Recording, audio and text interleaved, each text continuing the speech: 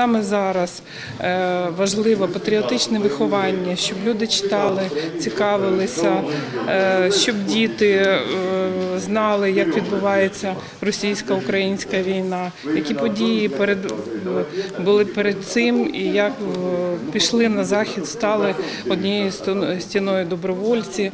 спрямованість цих книг, щоб вони десь е, працювали, да, щоб вони десь ну така як от лагідна українізація, да, або е, там, скажімо так, любов до історії. Також волонтери привезли з собою листівки, які може заповнити кожен охочий та передати військовим на схід України.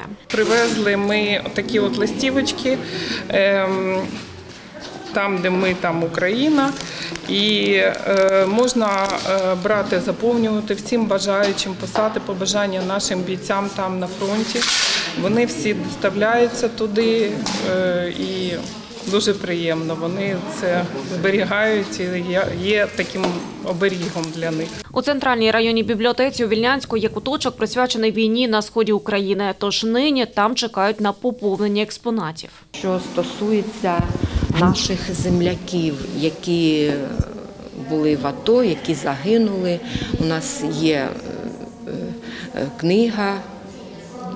І там є фото всі, всіх наших земляків, є матеріали про них. Ми збираємо. Також Тетяна Здоровець, бібліографка закладу, пояснила, як працює бібліотека під час адаптивного карантину. Зараз е, самі бібліотекарі пропонують книжки, читачі знаходяться в вестибюлі, в фоє бібліотеки, а в сам зал вони поки що не можуть заходити, а вибирають книги по замовленню і бібліотекарі роблять їм підборки.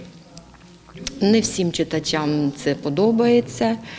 Е, Нові книжки, ті, що зараз більше виходять українською мовою, сучасних авторів, е, читають е, зараз набагато більше, ніж на початку, там 2-3 роки тому.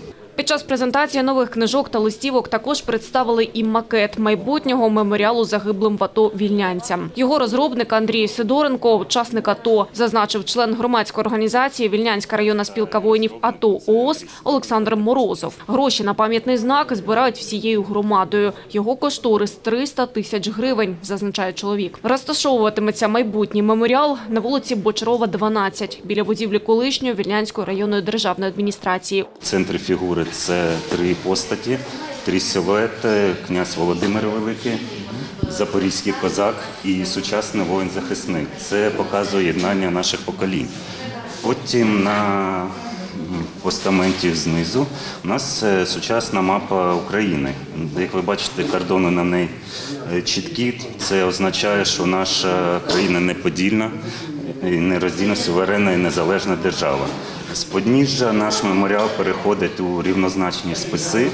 Е, Списи обозначають, що наша країна завжди воювала, войовничі нашої країни.